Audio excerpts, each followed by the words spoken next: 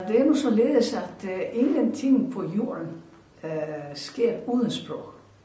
Alt, hvad det skabes på jorden, alt, hvad det uh, øh, gøres på jorden, uh, uh, hvad menneskene gør, det, det gør man igennem sprog.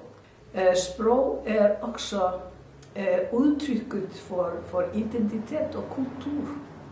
Kulturområderne områden i verden uh, bygges på sprog, selvfølgelig. Og uh, det har jeg altid været fascineret Og også at studere, hvordan sprogene har sin, øh, uh, sætte sin stempel, har sin uh, indflydelse på uh, de forskellige kulturområder i, i verden.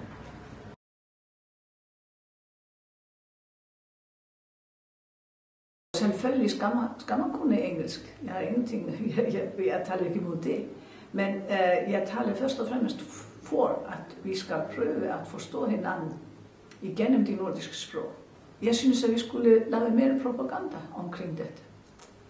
Og uh, opmane de unge om at uh, vi er uh, på det samme kulturområde i Norden. Og ingen steder i verden har vi bedre venner enn i Norden, enn i hinanden. Og det er først og fremmest minner og språk. Det gør det.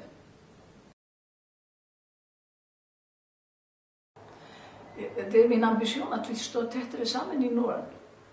Og uh, uh, føler at uh, vi, vi har fælles kultur.